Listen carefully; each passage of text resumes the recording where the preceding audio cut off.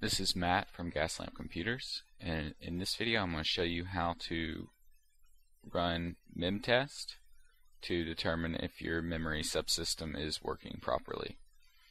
So why would you want to run memtest?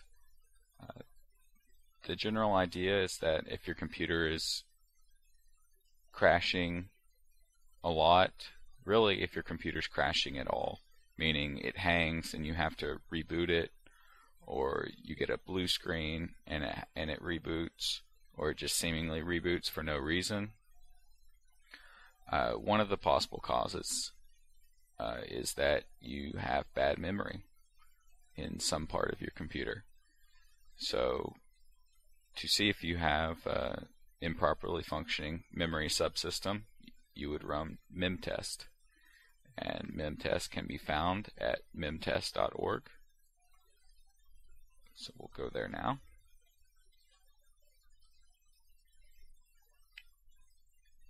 Uh, it's called memtest 86 plus and the way you run it is to go to download pre-built and ISOs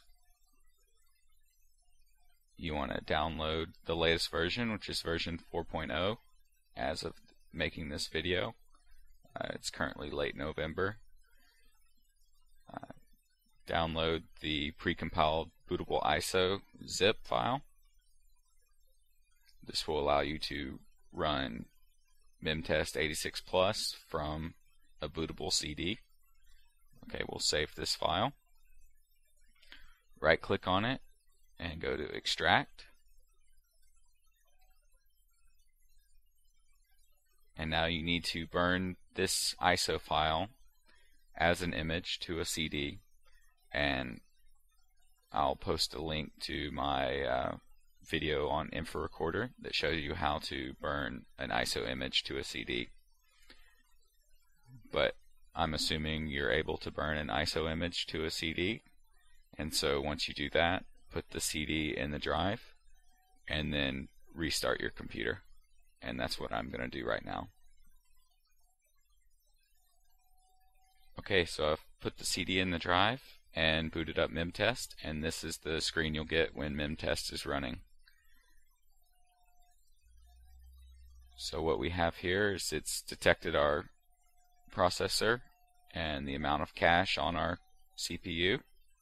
Uh, it's detected our chipset and the amount of memory we have and up here is the uh, percentage of the pass that it's done. Uh, this is uh, like once the pass goes to 100%, memtest has run all of its tests. Uh, it can take a very long time for the pass number to get to 100%. Uh, it's generally recommended that you run memtest overnight or over several days and to detect uh, any errors in your memory subsystem. Now, memtest isn't a diagnostics tool. It's not going to tell you what's wrong with your memory, and it's not going to tell you how to fix it. It's just going to tell you that there's something wrong with your memory. So, down here you have the total time that uh, memtest has been running, uh, the amount of memory you have, the test you're running, which is standard. Uh, you can ignore reserved memory, memory map, and cache for now. Uh, the pass you're on, you're currently you've completed zero passes. Uh, you're five percent at your first pass, and here are the errors. And should note that even one error is not acceptable. So if you get even one error, uh, there is something wrong with your memory subsystem, and I recommend uh, if you don't have the skills to diagnose it correctly, uh, you can try posting at the memtest 86 forums, or you may just uh, save the headache and take your computer into a repair shop or replace the memory sticks yourself. And what you can do is, if you have multiple memory sticks, you can pull out one of them, uh, reboot your compu- computer, and run memtest again on just one stick, uh, and then run it on the other stick. Uh, if it finds errors on one but not the other, uh, that's a pretty solid way to determine that one one stick of memory uh, has gone bad. So, like I said, memtest can take a very long time to run, and even if it doesn't find errors on one full pass, uh, due to the way memtest works and running random tests on random sections of memory, uh, you might find errors on more than on subsequent passes. So, uh, really, as long as you can tolerate memtest to run, that's how long you should run it.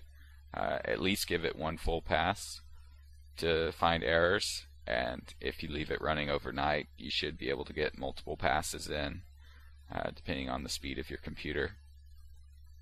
Uh, you can see we're already at 11% of the first pass. And uh, if you run memtests and let it go for 10 passes and still have zero errors, you can fairly safely, though not definitively, count out your memory subsystem as being part of what is causing your computer to crash. So I hope this has helped you out. Um, this is how to run Memtest 86 Plus version 4.0 from a bootable CD. Uh, if you have any questions, leave me a YouTube comment or check out the blog at Gaslamp Computers. Uh, if you're local in the San Diego area, uh, you can have Gaslamp Computers check out your computer for you. So check out gaslampcomputers.com.